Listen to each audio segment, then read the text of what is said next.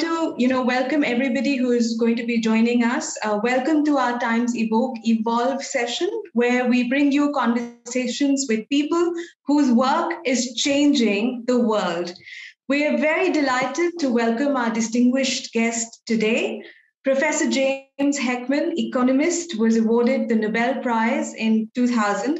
His work on human development is absolutely renowned as is his commitment to using economics to create policy that strengthens human lives. Professor Heckman is the director of the Center for the Economics of Human Development at the University of Chicago.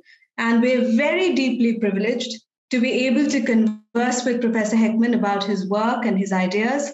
Um, thank you so much for this valuable opportunity, Professor Heckman. Thank you very, very much. Well, it's my pleasure. Great.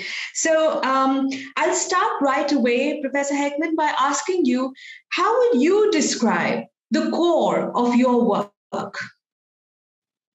Well, I've I've done a lot of different things. So the core of the work that you're describing in your interview, uh, in your introduction to the interview, is basically um, trying to understand the aspects of what determines human development and therefore what determines uh, uh, the source of equality, inequality among human beings, the ability to function in life.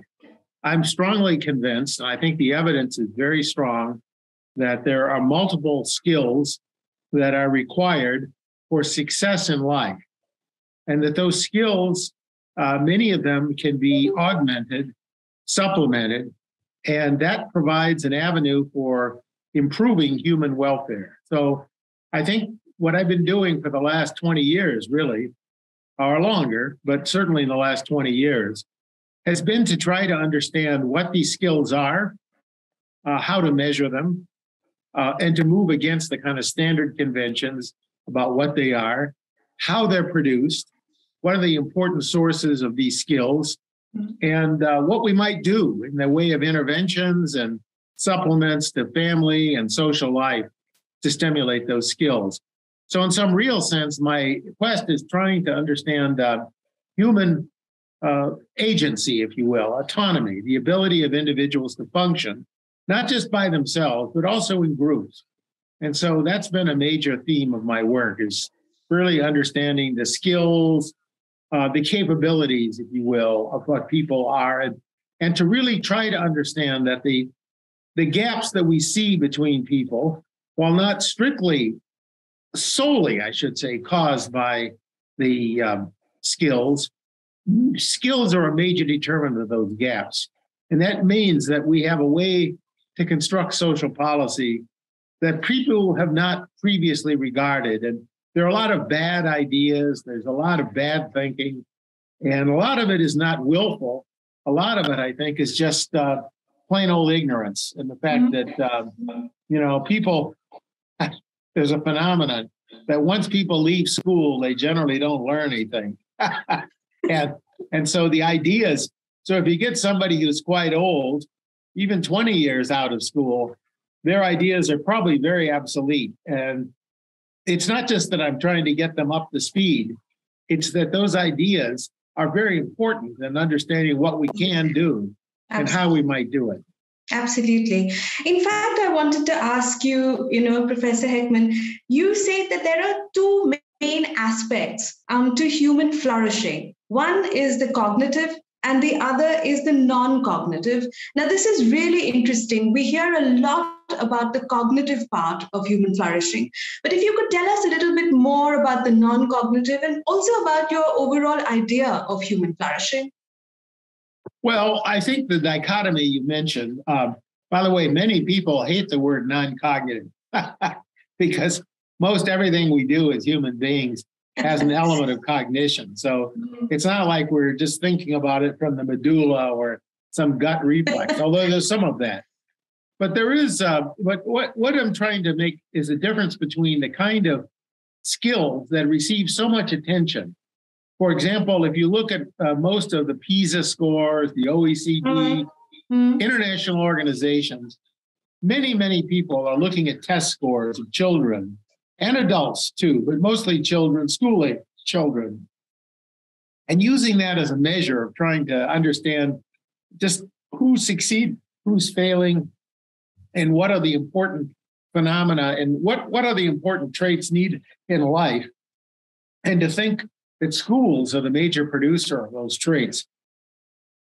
So we've actually this is this is really a, it's in some sense I consider this a kind of consequence of uh, of a learned ignorance. I think I wouldn't say willful, but I think learned. Mm-hmm. In the last fifty or sixty years, even the last hundred years, you know, the IQ test was only really developed in France about hundred years ago, maybe 110 years ago.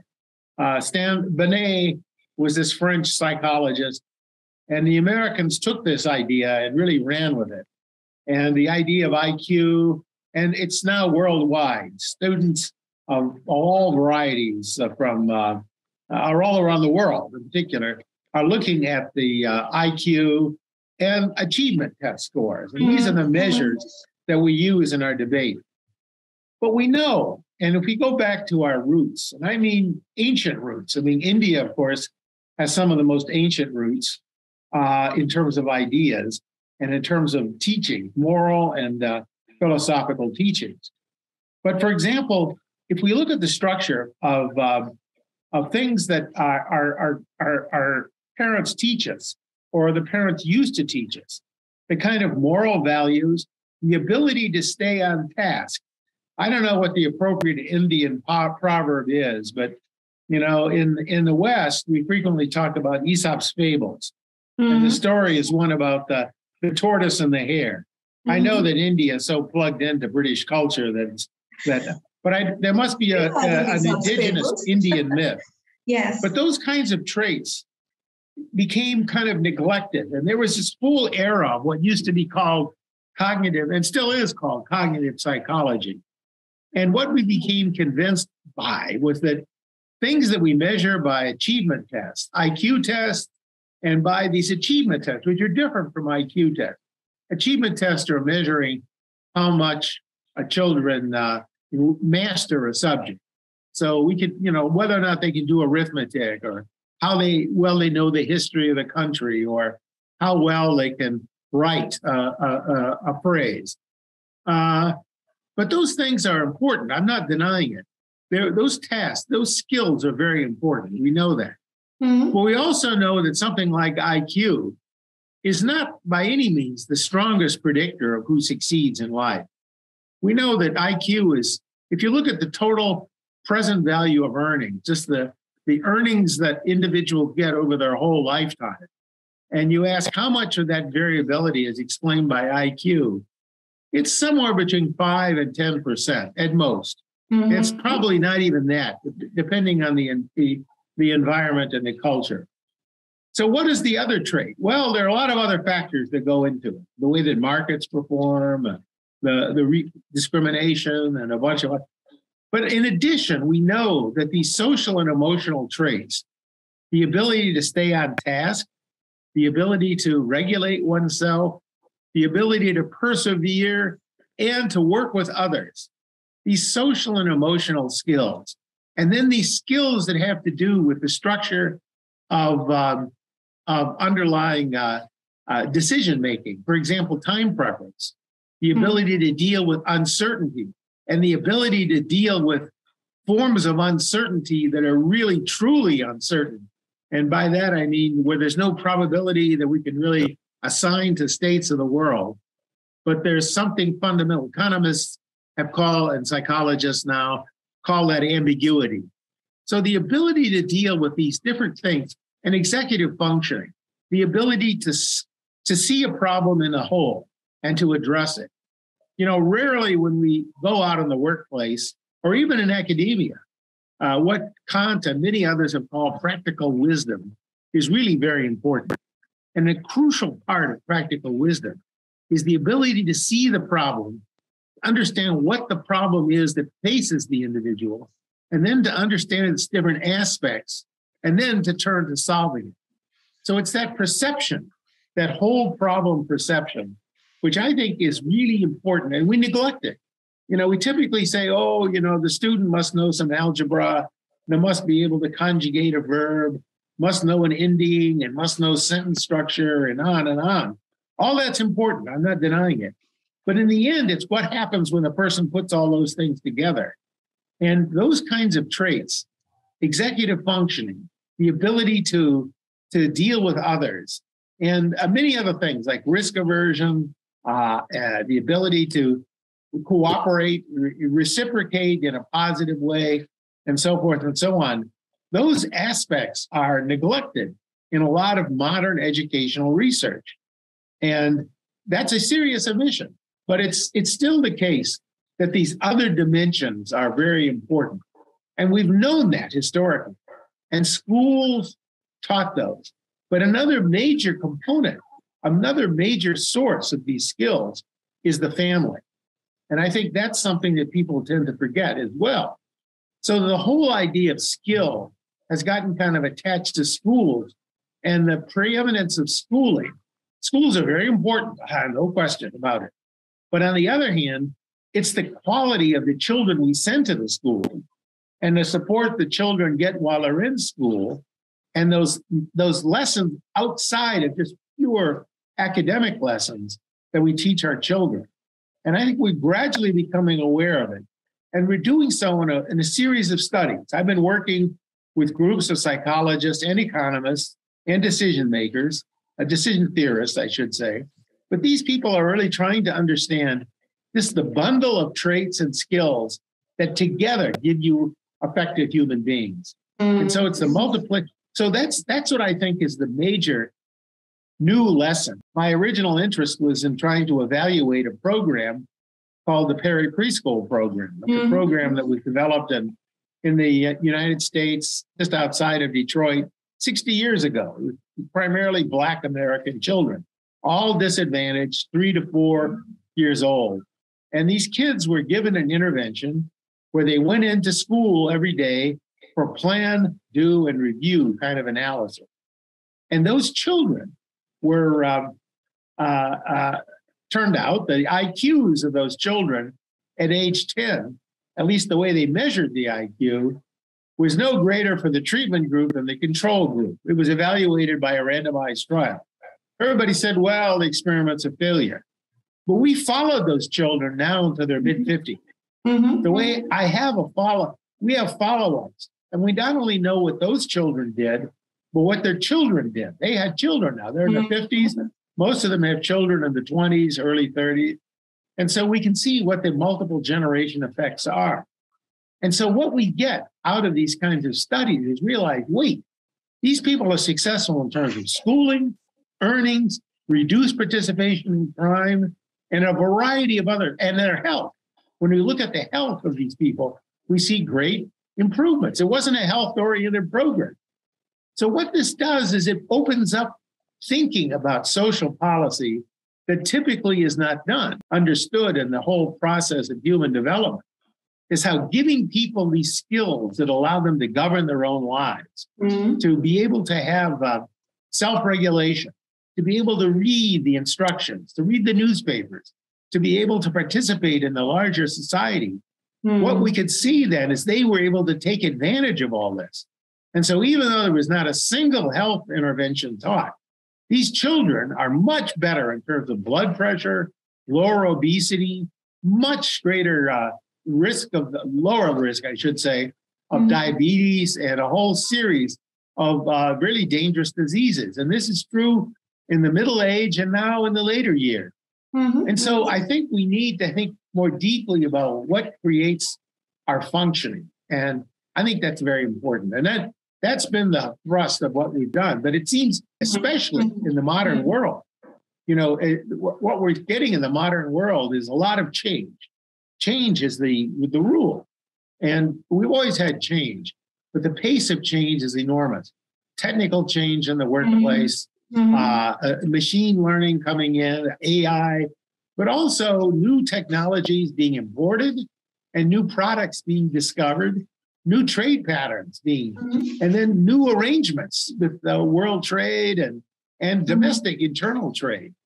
So there's just a lot of change going on. And it turns out that some of these social and emotional skills, like executive function, allow people to deal with this kind of tax, task complexity that allow them to kind of cope with the multidimensional aspect of change. As you said, this is really very cutting edge. Mm. But there's another project which I just heard about from a former student of mine, a co-author named Jorge Garcia.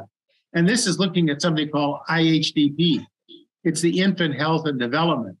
And uh, they found program.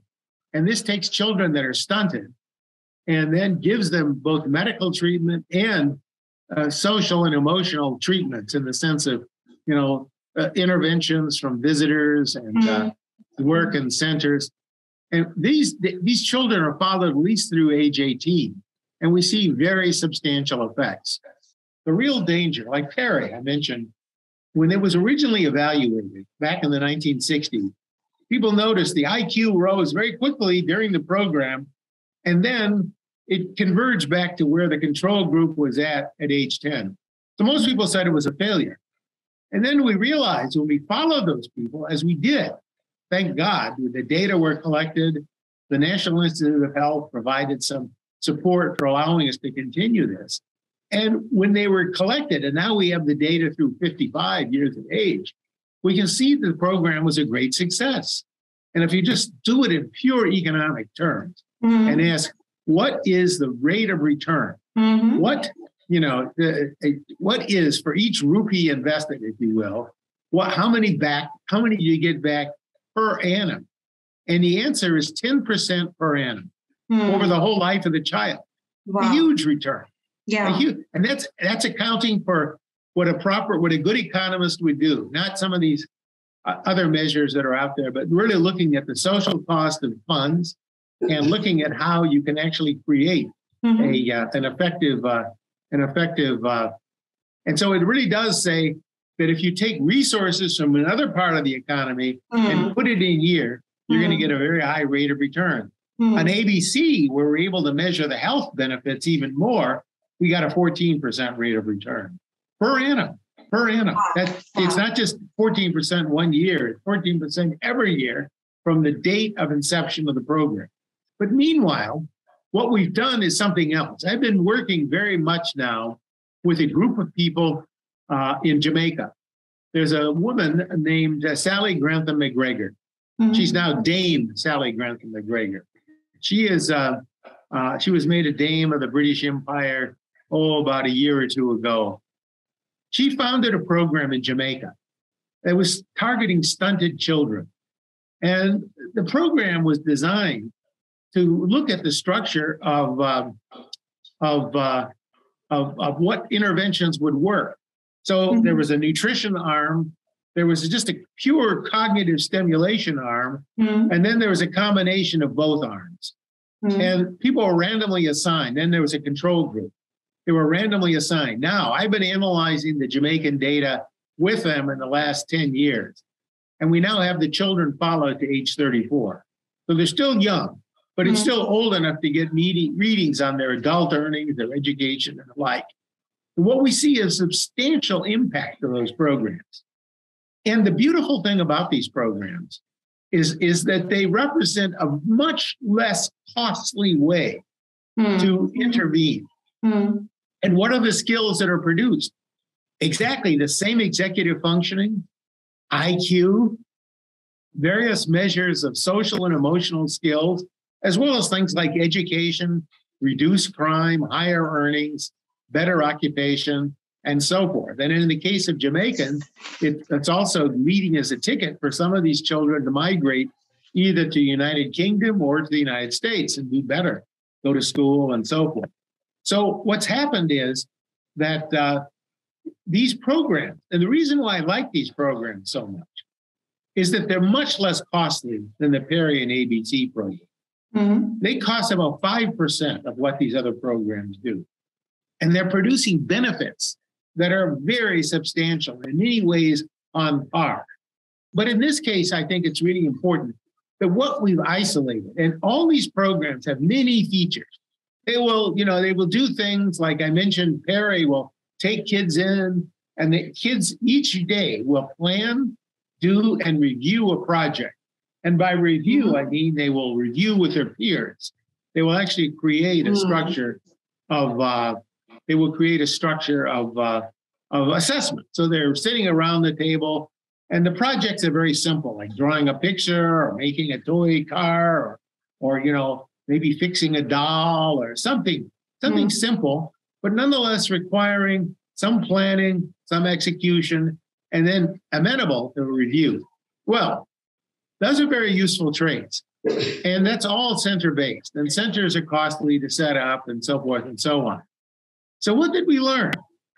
Well, when we isolate these components, the Jamaican program only took one component. And I forgot to mention, Perry had home visits. Mm. And the hmm. ABC mm. program bought, brought the parents in to the center. So there was interaction with the parent. So it turns out these home visiting programs have only one feature, and that is they are working with the parent. They engage the parent, they give the parent suggestions how they can play with their children, how they can stimulate their children, and so forth. So Jamaica was a marvel because here was a slums of Kingston. They had no money. The Ford Foundation spotted them a little bit, but not much. And what they did is they taught the mothers to actually make playbooks out of material in the dumps. So they had to went to the garbage dump, just get paper, waste products, make books the children could read, and then teach the mother to interact with the child. Just interact. They didn't tell the mother what to do. The visitors were not particularly well trained.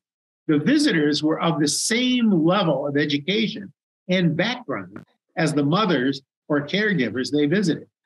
And it turned out that these programs have turned out very effective at 34. So, as a result of this, a whole series of programs have been launched around the world. But what comes out of it then is very fascinating that you're getting substantial growth in skills. This is in fine motor skills, in cognition, in language, and in the ability to deal with others in social and emotional skills. So hmm. this this is a very low cost intervention and it's highly effective. First five years of life of the child are crucial. And if we can get the hmm. parents actively engaged, that parents don't have to be that highly educated. But programs like this have also been launched in Colombia mm-hmm. to some success. Mm-hmm. And now they're being tried out in India, Odisha, mm-hmm. I think. And mm-hmm. uh, so Odisha. So what you're getting is a is a, and then Nepal and soon uh, in Brazil for sure. And there's some some some uh, some discussion I think in, in Kenya uh, proposing these programs. But the mm-hmm. thing about it is that it gets to what I think is the essence of child development, which is parent-child engagement mm. and turning the parent on to the parent's own possibility.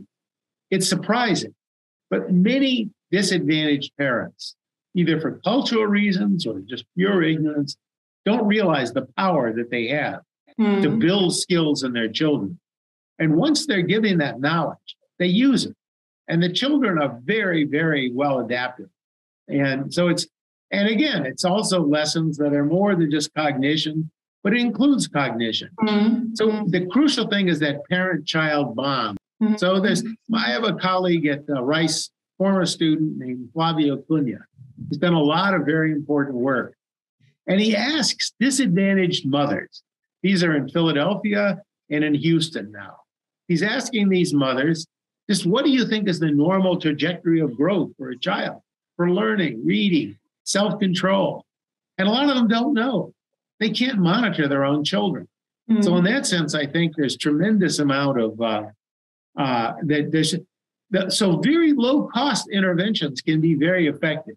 I also I, I was also reading um, you know some of some of the experiences that you shared when you when you uh, were awarded your Nobel Prize, um, and and something really stayed in my mind. You said you you'd actually witnessed racial discrimination in in America's South in the 1960s. Oh, yeah. So I wanted to ask you about that, and also whether in that, you know, now we've we've already got a fairly good idea of how deep your commitment is to reduce inequalities between human beings at their very core. Now, did witnessing that kind of discrimination was that also an influence on, on on, your work and this this amazing passionate commitment of yours? Well, it certainly changed my life perspective. I I was born in Chicago, Illinois. Yeah. But about age, I guess 11 or 12, I went down to uh, my father uh, was working for a large company and they transferred him to a town called Lexington, Kentucky. It's in the middle of Kentucky. It's the horse, it's the horse breeding region of Kentucky, the bluegrass, they call it. Mm-hmm. But he wasn't in horses. He was in the meat packing actually. Mm-hmm. And uh, but I went there with my sister, and uh, we at that time, and this is in the mid '50s now, that the um, the uh, late '50s maybe, but the the the system of Jim Crow, racial segregation, mm-hmm. was very much in evidence. And coming from Chicago, where it wasn't in evidence, and then going down to Lexington really opened my eyes uh, in in a way that I, I, I never and my sisters too. So what what happened? I remember the first time two incidents occurred when we moved to Lexington.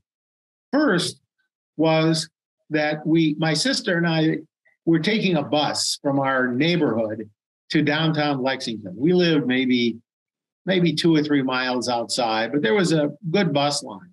Mm-hmm. And so we just took the bus and and we went off to uh, to see the town together. We just arrived and and my sister and I went and we love the, the you know the back bay window of a bus. Mm-hmm. some of these buses, that, mm-hmm. and so the bay window gives you a full view. Yeah. Since we were newcomers, we wanted to see as much as we could, so we went immediately to the back of the bus. Ah, well, we noticed two things. One is the bus in that area, there were mostly black people. They were all only black people.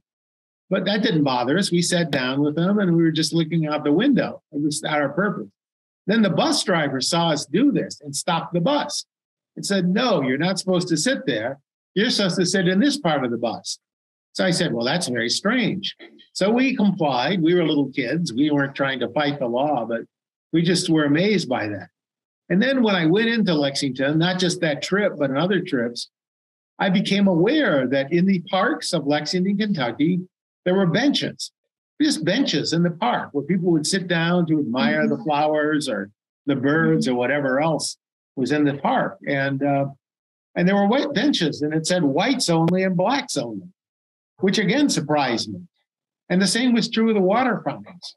And then when you went to a to a bathroom, say in a bus station or or even a bathroom in a some kind of public facility, there were whites only or blacks only. And then you went to a movie theater, then the blacks were supposed to sit up in the upper seats and the whites sat in the lower seats. And it was very rigidly enforced. I remember when my parents arrived, a visitor from the neighborhood came to us and said, and explained to us what he called the Southern way of life. And he said, you know, we know you guys are from the North, you guys are Yankees, and so we'll we'll give you some little bit of knowledge about the Southern way of life. And it was exactly that way about keeping the distance between you and the blacks. When I was in eighth, I went, I started school there in the seventh grade. And uh, I remember the school was segregated, completely segregated. There were blacks living in the area, a lot of them, but they went to a separate school. I never saw a black in that school. And it was racially segregated. Mm-hmm. And so I, I was very taken aback by all that, just surprised. So that just kind of left to me a, uh, kind of an experience. And I became aware of something. I didn't enjoy that, uh, but I wasn't a social activist either at age 11. You're not going to, mm-hmm. you're going to take it all in. And then the next year, my parents moved once more from Kentucky over to Oklahoma. Oklahoma was still a southern state. And again, I witnessed the same thing. You take a go to a bus station or a train station or whatever mode of transportation you were using or going to a movie theater. And again, it was very racially separated. The blacks were over there, the whites were over there. I was white, and we kept our distance. Big, big social code. So that stuck in my memory. And I got fascinated by what was going on in the black community. I hadn't met that many blacks because remember, we're very segregated. I actually found myself uh, very interested in uh, in the Black community there. Small, hardly representative. So I went to a lot of Black churches and I tried to find out about Black culture. And this is already now in the early 60s. And there was, you know, the civil rights movement was starting to really heat up in the US. King, Martin Luther King was active and so forth. So I got very interested in Black culture, I went to some Black churches just to get used to it. And then, and then, you know, the US passed a whole series of civil rights laws. And then I went on to graduate school and I got very interested in the issues of human capital and wage growth and skill accumulation. That fascinated me. Was we passed a civil rights law in 1964. Mm-hmm. And then this civil rights law, we started seeing really great change in the status of African Americans. So I became very deeply conversant with the question of how, you know, what caused that change. There was a lot of discussion. What happened is I got drawn into the issue of trying to explain the growth in Black economic progress mm-hmm. between the 1960s and when, when I started going back to this in the early 80s. And I became, and then I realized there was this huge debate. There had been this papers written by people I really respected saying that this was all due to things like the forces of education, secular economic growth, and the law had no effect whatsoever.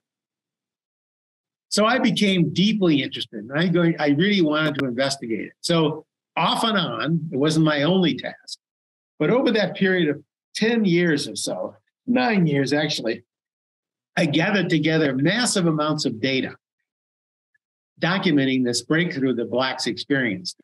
Even data from segregation states, states that collected data on individual firms asking how they complied with the mm-hmm. segregation laws, which were in place. You couldn't hire a Black, a Black couldn't work in the assembly lines, could work outdoor, could clean toilets, but it was a very rigid social code. And uh, I put all this together and I reached the conclusion it's a paper that I really like the best, and nobody even knows I wrote it. So, I mean, it's like one of these papers that I'm personally proud of. And I truly, I felt I proved once and for all that this was due. The civil rights law played a huge role in the timing, the region, the location, the breakthrough, everything put together. And I, I will say this I still have this letter. At the time I published this in a major journal, Robert Solow at MIT, still alive, very, very influential economist, mm. and a guy who mattered a lot in my life, just thought, you know, I respected him, wrote me a letter and told me uh, something which I really valued then and still value now. He said, This is the model for good empirical work in economics. So I really went through it because I took what I call the abductive approach using all sources of evidence. It wasn't just fitting a single econometric model. It wasn't a single data set. We read newspapers. I read the whole history of the uh, Department of Labor, the state of mm-hmm. South Carolina, between 1915, when they set up the segregation code, to 1965. 50, uh, oh, 40, uh, 50 years, I guess, of, uh, of, of documentary about the enforcement of the law and what happened because it gave me background. And when we were doing the study, I went down to the University of South Carolina on an invitation, and I got the, the leader of the school, the chairman of the department, to bring together a group of industrialists and people who had lived through this. I gave them my story and I asked, How well does mm-hmm. this accord with what you experienced personally? And it passed the test. So I was very happy. It was that I think is the right way to do empirical research in economics. India, of course, as you know far better than I do, has one of the world's youngest populations. Uh, we're yes. also going to be the most populous nation uh, on the globe in, in, within a year's time. Um, yes. Now, what the the the sort of talk that we've had with you today, there's so much uh, for policymakers to to draw from your insights. There's so much for decision makers to draw from your insights about the importance of interventions, uh, in particularly in the, the early childhood um, of individuals to strengthen their lives. But, but I wanted to ask you, speaking directly to billions of young Indians who are seeking to thrive, what advice would you give them? Well, in what stage are they? I mean, are they are they living in poor rural areas? Are they living in in uh, uh, New Delhi, say, uh, where there's affluence or at least access to public facilities. I mean, the thing about India that strikes me from outside, and remember, I'm completely ignorant. I mean, first of all, the diversity in India is amazing. Mm. I mean, I mean, the different cultural groups. I mean, the British were very smart in some ways by playing one group of Indians off against the other so they could keep the Raj going. Uh, and it was probably a bad legacy, though. I, I, tension is not the right word, maybe, but friction, maybe, mm-hmm. that's kind of built in. Uh, and of course, there's the issue of the structure of the caste system, how much that really impairs the, the mm-hmm. mobility of children. Uh, you know, I know Amartya Sen pretty well, and I know that he writes a lot mm-hmm. about this one province in southern India. What is it called? The, Kerala? Oh, yes, Kerala. Yes. It had a communist government, but it had a lot of opportunity for women, and it had a lot of progressive uh, legislation. I don't know how well that's going now. Actually, I heard I heard conflicting stories, but I haven't really investigated. Mm-hmm. I haven't seen Amartya for a while. But the but the interesting thing there in India is this diversity of culture. And my advice for young children is, I mean, the Indians who've been given the opportunity to, I mean, here in the United States, uh, the Indian Americans are very mm. successful.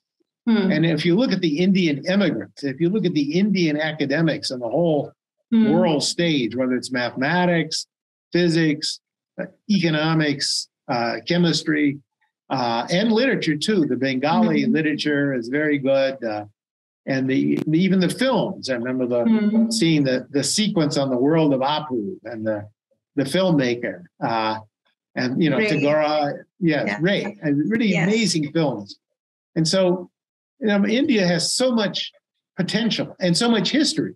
So it's not like it never flourished. It flourished and then some. Mm-hmm. There recently was a documentary here in the United States, Nova. Do you know the Nova series? And it's put out by the mm-hmm. National Science Foundation. Mm-hmm. But it was on. It was a very good film. I love these Novas, even though they're targeted towards probably high school children or college. I still watch them because they teach me some new things that I just didn't know. I'm not old enough. I'm not so old that I can't learn. But this was fascinating in the sense that we're asking, where did the number zero come from? Well, it came from Indian mathematicians. Zero was a concept very closely related to the Buddhist and Hindu concept of nothingness, you know, mm. but it wasn't there in the Greek or Roman system or the Chinese systems either. It was very, very interesting. But anyway, the point is, India has made such contributions to the world and will continue to make those contributions. I mean, so, I mean, a young child, the real, the crucial thing is to try to get right to the source of knowledge. And the trouble is, I know, speaking with many of my friends who go to India often, who run projects for NGOs, that there's a lot of rigidity built into the school system. And so it, stifles the creativity and it stifles learning opportunity. I think India, I mean, I can't ask the advice for young children. I would say, I would say go back to the great Indian history and realize the great potential and the great history of creativity and productivity mm-hmm. that Indian culture has brought to the world. I mean, not just in religion, not just in mathematics, in literature, and in many, many dimensions. Mm-hmm. So I think respecting that and realizing that is extremely important. Mm-hmm. But I also think that it's it's somewhat, but I would say try as best you can to teach yourself things even outside of school or try hard to push your curiosity. That really we know that those people who are the most curious learn. You know, what we have this American president, Abraham Lincoln, mm-hmm. very famous guy, very well respected. Uh, he had one year of school. So, by all accounts, he was a pretty bad position. But he was curious and he studied and he studied like crazy. And he took on all these challenges and the important thing, I think, is basically realizing that you have potential. And uh, although I don't care much for this literature, there is some work by a psychologist at uh, Stanford. Mm-hmm. Uh, I care very much about what she does show. She has this whole program that she wants children to understand their capacity to learn. And so her notion is the mind is a muscle. That's her phrase. But what she means is we can exercise it and we mm-hmm. can build strength. And I think the children should recognize that whatever they know, whatever their position in is in, that by exerting their curiosity, by trying hard things and willing to fail. See, that's the it's I think that's the part that we don't teach children enough and people enough, adults even. Try new things. Trying new things, even though some of them may be wrong and may be harmful to an extent. They may be at least unpleasant. But the structure is that when we learn from our failures, and then we, when we when we try, when our, we reach, even if our reach exceeds our grasp, the very act of reaching elevates us quite literally, but also challenges us. And it's that notion of continual challenge, not thinking that the world is no completely known or that there's no possibility for you. There are enormous possibilities, even in some of the most desperate looking situations. But it's just a matter of kind of pursuing it hard, being open to new ideas, and being willing to take a risk. You know, a few years ago here in Chicago, Jack Ma from uh, mm-hmm. uh, from the I think it's Tencent, whatever the, the company is, Alibaba. You're right. Tencent's a different company. Alibaba. He came here, and there was a group of us that met with him. Just a, it was a group. I didn't meet with him in person, but he was there. We talked briefly. The important thing is, is he said, what does he do at Alibaba? He says he has a whole university in Alibaba for his employees, an institute really. And that is he teaches his employees to fail. And everybody said, what? Fail. You know, it's successful. Mm-hmm. And what he means is to try new things, that they can try new things and then having failed, try something else. So it's the ability to kind of be resilient. That's a learned trait. And if the, the point is not to kind of, you know, to, to kind of characterize yourself by one, two, or even three or four failures. You just keep trying and keep challenging. And then recognize it, it's it's something that I found in my life. I honestly found that whenever I learned something, whatever it was, however obscure, you know, Latin conjugation, some piece of physical chemistry, some anthropology that I took as an undergraduate, or some physics that having to do with uh, the rolling of a ball down a plane or the hanging of a bridge, the so-called brachistochrone problem, the hanging of a chain over the bridge, suspension of a bridge, all those things that seem very, very obscure, I always used at some point I came back and they created a frame and I could draw on those things. And that was true of poetry, it was true of novels, it was true of plays, because those are worlds about possibilities. And that's what we're all about, right? Counterfactual world, the world of the possible. So a good novelist is really drawing out perceptions. And so, not to privilege one source of knowledge, but, mm-hmm. and to be open to knowledge from all sources and also to be able to to fail. I failed plenty of times. And i you know fail i want to do something i, I want to, something to succeed. And then in the end i realized it wouldn't succeed.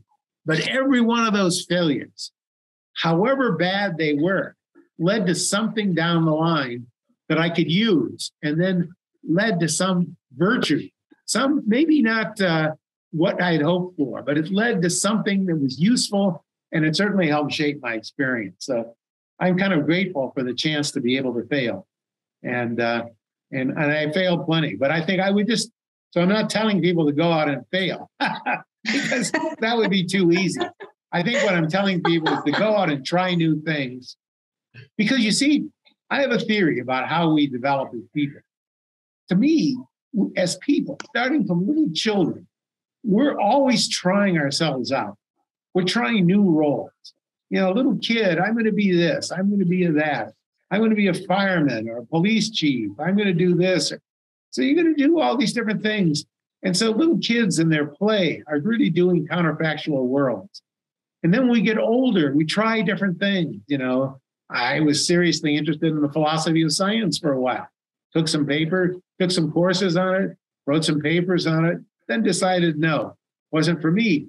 But I learned a lot from that. And I, I still draw on it to this day in, in some of the work I do in causality. So it's it's you can't knowledge takes an unpredictable course, but knowledge but learning new things can never hurt unless it's fentanyl or some drug that's uh, very dangerous. that you don't want to learn. No. thank you so much, Professor Heckman. Okay. Thank you. Well, very good so and uh, good luck. Thank Okay, you thank very you. much, and I'll be in touch. Thank you very, very much.